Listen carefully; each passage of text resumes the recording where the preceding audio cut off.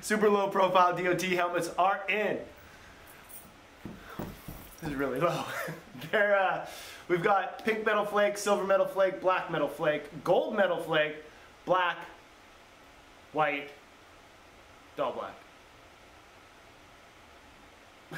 So incredible, my camera couldn't even focus. They're on the shopvancouver.com now.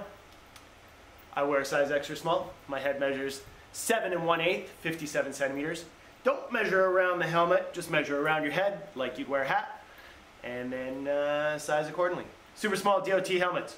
Get into them, dog! Shopvancouver.com.